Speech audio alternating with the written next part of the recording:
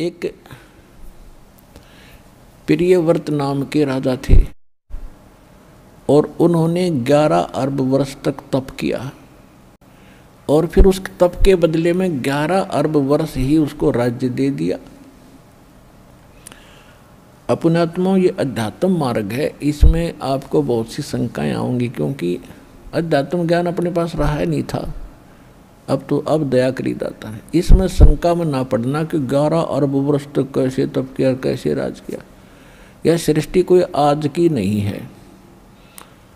और इस चक्कर में ना पड़ना आप। सिर्फ़ ये समझो कि उसने इतना तप किया और तप के बदले में फिर राज्य मिला उतने ही समय के। आप इतना ही पर्याप्त समझो।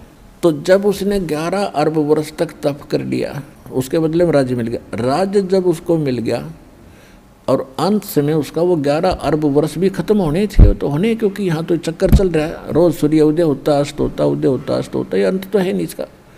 अंत होगा तो बाद की बात है, लेकिन हमारे जीवन के लिए तो बहुत है ये। तो वो अंत आया, यम के दूत कहने लगे, चल भाई, प्रियव्रत, खड़ा हो राजा। अब उसने देखा कि तो भाई सारा राजपाट ठाठ पाठ सारे जाएँगे, मर गया तो बहुत बुरी बनी। हाथ जोड़ता है कि यम दूतो, मुझे कुछ समय और दे दो। कि खबरदार तो हम गिन लग रहे तेरे सांस कितने शेष रह रहे खबरदार दे, एक सांस भी दिया था। आगे दर लेगे उठा लेगे धर्मराज के सामने, न्यायाधीश के सामने खड़ा कर दिया। न्यायाधीश कहने लगा, भाई, डले डोका आ गया कहाँ जी, डले डोका आ गया।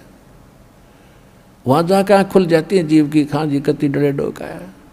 धर्मराज ने कहा कि ग्यारह अरब वर्ष तक तूने तप किया था, ग्यारह अरब वर्ष तक तुझे राज्य दे दिया। और इतने में तूने कोई भक्ति करी नहीं। तो वो कहता, जी, एक मनुष्य जीवन और दे दो। बेटा, गई हाथ तो बात ही बताए अब नहीं मिलेगा। अब चल गधे की योनी में डायरेक्ट सीधा।